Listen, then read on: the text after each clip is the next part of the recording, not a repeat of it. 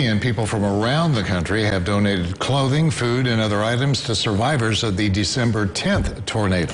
One family is getting a new home donated to them thanks to an Evansville area family and some firefighters. On the road to recovery, Eyewitness News' Mike Pickett was there as the home made its way to its new owners.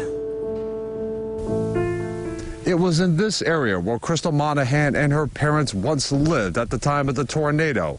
And now it will be in this area where a new mobile home will be placed as the family continues their road to recovery.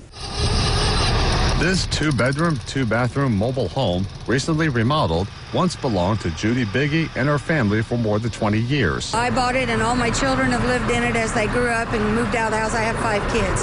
So they lived in it, we've rented it, and my last son moved out of it. Uh, bought a home a few months ago, and so I thought, what are we going to do with this? What she did was donate it to Monahan, who lost hers more than three months ago. A little bit overwhelmed, excited, um, just happy um, thankful, very, very thankful. Who is also still coping with the loss of her parents who died in the tornado. My mom, she was like five foot nothing, but she was full of, you know, fire and energy. And my dad, I mean, he was uh, he was the best dad anyone could have ever asked for. Pastor Daryl Bryce of Connection Church, who is also chaplain of McCutchanville Fire Department, says he worked with the Monahans in their tornado recovery.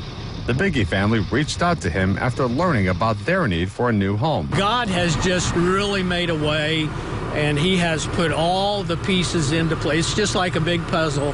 He's put all the people in all the right places to make all this happen. Monahan, who escort drives oversized vehicles for a living, well, I've done a lot of windmill projects, windmill blades, tower sections. Escorted her new home from Vanderburgh County to her home just west of Dawson Springs in Caldwell County. It's going to be home, and um, I'm happy. I'm, I'm just, I'm overjoyed. Monahan also says that her daughter and her grandson, who also lost their home in the tornado, will be living with her here for the time being.